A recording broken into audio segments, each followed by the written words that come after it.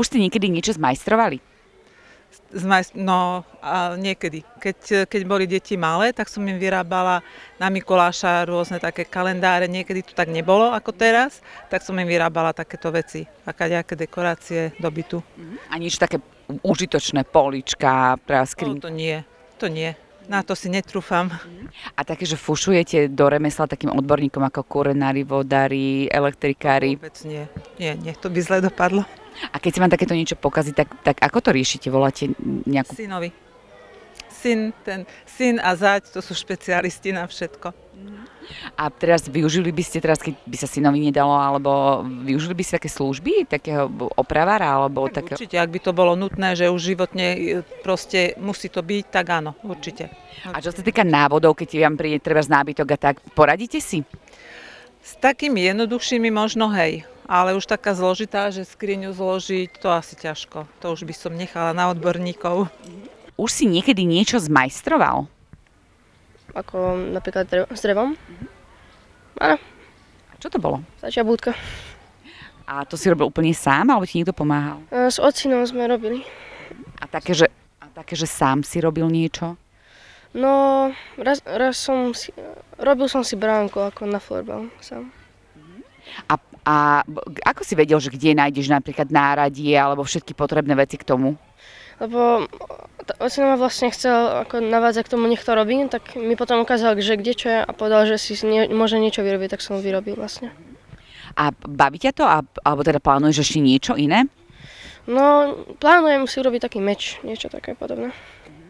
A podľa teba aj si to predtým nakreslíš, alebo máš nejakú prípravu k tomu, keď začneš niečo vyrábať? Mm. Nie, iba niekedy. Niekedy to robím iba tak zle. A doma takto s ocinom aj fušujete do remesiel ako voda, elektrika, viete si takéto veci spraviť sami?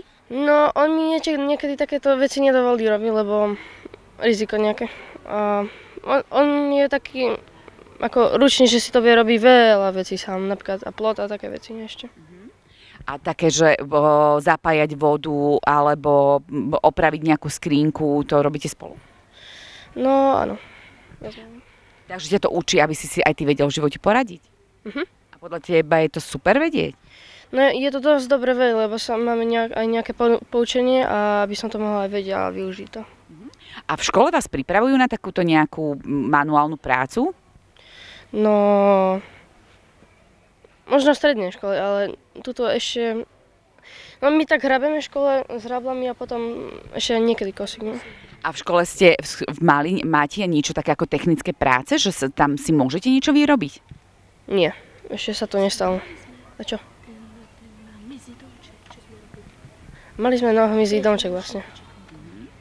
A také, že chodíte niekam si niečo vyrobiť o, do nejakej inej školy alebo niečo podobné? Mm, Raz sme boli v stred, a vlastne tuto v strednej škole, čo je v Žanelici a tam sme si vyrábali poličky. Sme ich A- špirigovali a také a potom šrobovali a veci. A keď vyrobíš takýto výrobok, tak o, aj to doma potom používaš alebo to niekomu daruješ? Ja som to použil ako, som si to založil figurkami, takže som to mohol využiť. A o, trebárs, vedel by si takto, keď si vyrábal tú poličku, vedel by si to aj nejako zazdieľať s niekým, že trebárs ukázal by si súrodencovi, že si môže také niečo vyrobiť, vedel by si mu v, v tom asistovať? Mm, áno, keď, keď si to zapamätám, tak áno, a keď nie, tak nie. Že či už si niečo niekedy zmajstrovali? A Viete čo, až tak, taká zručná nie som. Nie, nie som až taká zručná, aby som vedela zmajstrovať, ja neviem, niečo z dreva, alebo nejakú, niečo z hliny, alebo prosto tak, ale niečo si ako také drobné, ako upraviť, ako v domácnosti, alebo neviem skonkretizovať čo vôbec, ale, ale som vždy bola zvedavá. Keď som aj mala nejakého majstra, že som potrebovala niečo opraviť, ja som sa mu dívala na ruky a pýtala som sa ho vždy, že a toto prečo tak, a toto, a toto čo, to, čo to bude, alebo ako to bude. A ak náhodou niečo ako bolo treba, že viete čo, toto by ste si mohli odložiť, možno sa nám to niekedy zíde. A viete, že sa to stalo tak, že a potom sa povie, že my starší, že sme také ako, že zbierači starých vecí, ale niekedy naozaj vám môže zísť. No. Takže nie som taký majster nejaký, ale zase nejaké také praktické, jednoduché veci áno. ale nič také mimoriadne. Ja som sa chcela opýtať vlastne, že či ste niekedy fušovali niekomu do remesla také, že elektrikárom skúsili ste niečo, vodárom skúsili ste niečo a nakoniec ste museli privolať záchranu? Dobrá otázka, pretože my ešte na základnej škole my sme mali ako aj dievčatá, aj chlapci, to bolo také vlastne, že museli sme vedieť opraviť zásuvku, zástrčku, žehličku, ešte tie klasické žehličky, také tie no, elektrické, čo boli, ako vymeniť to teleso alebo také. Takže viete, že áno, to nás učili a viem, že nás nenaučili, ako sa vyšíva, ako sa štrikuje, ako dievčatá. Viete, to bolo všetko spolu do jednej kopy ako dievčatá, chlapci, takže také áno, také hej. Ale rešpektujem, elektriky sa mimoriadne bojím, takže niečo mimo prúdu, áno, opravím, vymenila som si niektoré veci, ale vypla som, vedela som, že čo mám urobiť, aby som si nespôsobila nejaké poškodenie. A keď si objednáte alebo kúpite nejaký nábytok, tak e, návody treba, poradíte si sama alebo musíte si volať pomoc? Nie, práve pri takom, mala som nie tak strašne dávno túto situáciu, že, ste, že vlastne dostanete určitý skelet, nejakú, nejakú skriňku alebo skriňu alebo čo a to vám dajú zabalené všetko akože na kusy, tak nie, to som si musela zavolať. To by som aj nevládala, aj možno, že by som vedela poradiť, kde čo má ísť, aby to bolo dobre. Lebo aj ten človek, čo mi to robil, tak najprv nevedel, že ako to má, tak si zavolal svojho ako zaťka a tento potom dal dokopy. Takže... A to sa chcel koho si voláte? Voláte si nejakú takú platenú službu alebo koho si zavoláte na pomoc? Zatiaľ sme boli tu v tejto obci zvyknutí na pomoc, keď bola ešte sandrická fabrika, tak oni mali všetky typy vlastne remesiel a tí ľudia nám boli na pomoci.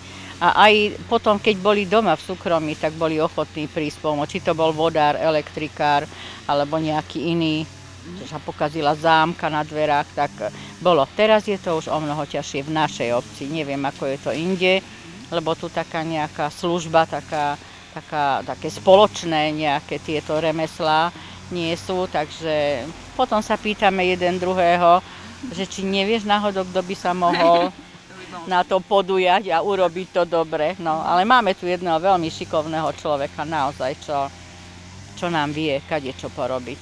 Aj pri tej lavici, aj keď sa dvere, akože zámok pokazil alebo iné. Veľmi šikovný, to je zaťko tejto našej susedy. Už ste niekedy niečo zmajstrovali? No. Čo napríklad? Tri céry. Dobre. A keď sa vrátime k takému kutilstvu, by som priam povedala? Nie som na to nejako extra. A ani ako dieťa vás to nelakalo vyrábať si nejaké, ja neviem, púšky, zbránie, niečo? Mm-mm, nie. Čiže ani si neboli vedení, treba stárkým, ocinom. Nie, nie. Ja skôr nejaký ako šport alebo tak volá. A keď treba uh, kúpite nejaký nábytok, uh, tak si to zmontujete, alebo teda čítate návody? Hej, čítam. Zmontujem, ale musím si to prečítať. Takže a, a keby bola teraz taká možnosť využiť nejakého človeka, že zaplatíte si ho a on vám to príde zmontovať, využili by ste to? Áno. Takže Ako keď som kúpoval kuchyňu, tak to bolo v cene, takže tak sa to zaplatilo tak či tak. A čo sa týka po, takých vecí ako fúšovanie do remesla, treba s elektrikárom, vodárom, skúšali ste už doma niečo takéto spraviť a nakoniec ste ho aj tak museli zavolať, treba z toho odborníka? E, nefúšoval som do remesla, radšej som to rovno zavolal, radšej som zavolal toho majstra. A ako hľadáte takýchto ľudí, ktorých potrebujete, treba aby si vám práve v tej domácnosti pomohli? To poznámosti. Nejaký, niekto mal skúsenosti zo známych, takže poznámosti. Už ste niekedy niečo zmajstrovali? No, svojím spôsobom áno, ale ináč nie som veľký majster. Ja. A čo to bolo? Do čoho ste sa pustili? Viete čo, keď som do auta potreboval vkladať veci a vykladať z nich, tak som z kolísky, ktorú sme mali na kolieskach, odmontoval kolieska a zistil som, že tam presne tak dobre to fungovalo. No, toto bol taký jeden z mojich najväčších vynálezov, ktoré som urobil. A nechceli si to dať patentovať? Viete čo, bolo, bolo to presne na, e, na tú Škodovečku, ktorú sme vtedy jazdili a to už by dneska, myslím, nefungovalo do tých súčasných aut, takže A e, teda keď sa vám treba niečo doma pokazí, tak s tým si viete poradiť? no, e, s niečím áno, ale čím ďalej, tým viac som odkázaný na to, aby som zavolal niekoho a niekto mi pomohol. Výborne. A koho voláte, keď vám, keď vám treba takúto pomoc? Viete čo, mám dobrých susedov e, a mám takých e, známych, ktorí sa osvedčili už v minulosti, takže obrátim sa na nich, poradím sa, no a podľa toho A postupujem. také služby, ako, ako treba ten hodinový majster, alebo také niečo si neskúšali? Nie, ja v podstate už nič také ani nepotrebujem, lebo v podstate no, tým, že som sám, tak mám malý priestor a, a e, v tom sa v podstate občas niečo síce stane, ale vždycky viem, že keď je s kúrením niečo, tak zavolám kúrenára, keď je s elektrikou niečo, skúsim spraviť sám a keď to nejde, tak zavolám suseda alebo elektrikára. Keď sa chcel- autom niečo stane, tak mám dobrého, veľmi dobrého suseda, stačí, aby som za ním prišiel a, a už to je. To som sa chcela opýtať, že či ste fúšovali niekedy niekomu do remesla, že teda, ale, ale teda, že nie, ale či, či predsa len presne ten kurenár, voda, elektrikár, či ste to niekedy predsa len skúsili skôr, ako ste zavolali, až keď teda ste možno aj pri tej oprave niečo ešte viacej pokazili. Áno, skúsil som a e, niekedy sa mi podarilo opraviť a e, niekedy, niekedy e, už to dopadlo tak, že, že som to musel nechať na to opravovať.